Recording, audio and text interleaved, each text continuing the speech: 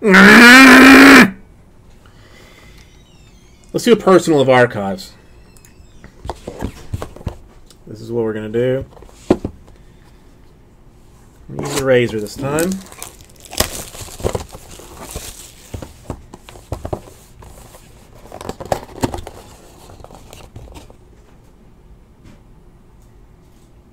Interesting. Uh, I mean, it's a you know. Oh, come on, man.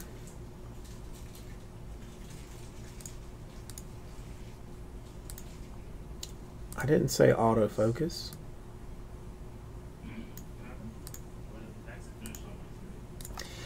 It is a Luis Severino 2014 Bowman draft, 75 out of 99 for the Yankees.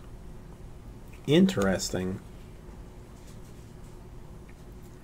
A TP 38, obviously. Severino, that's not a bad card. Thank you, everybody. We'll get right to you.